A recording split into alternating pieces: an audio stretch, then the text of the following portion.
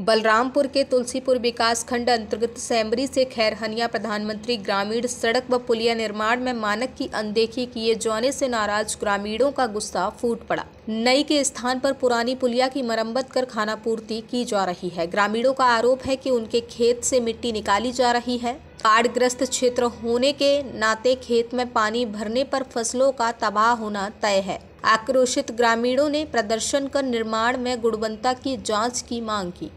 विभागीय अवर अभियंता ने आरोप को निराधार बताया है। उनका कहना है कि नई तकनीक से सड़क बन रही है जिसकी जानकारी ग्रामीणों को ठीक प्रकार से नहीं है। कृष्ण कुमार सिंह। निवासी? मैना हवा क्या मामला है? मामला यह है कि यह प्रधानमंत्री सड़क योजना से जो है सड़क बन रहा है। कहाँ से कहाँ तक बन रहा है? सेमरी से खैरहनिया तक। और बीच में जो पुल बन रहा है किस जगह पुल बन रहा है?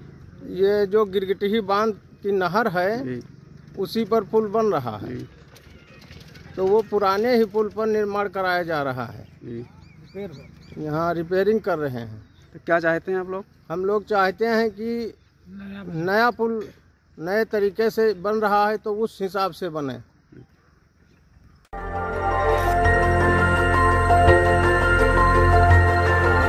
देखते रहिए डीबी भारती समाचार।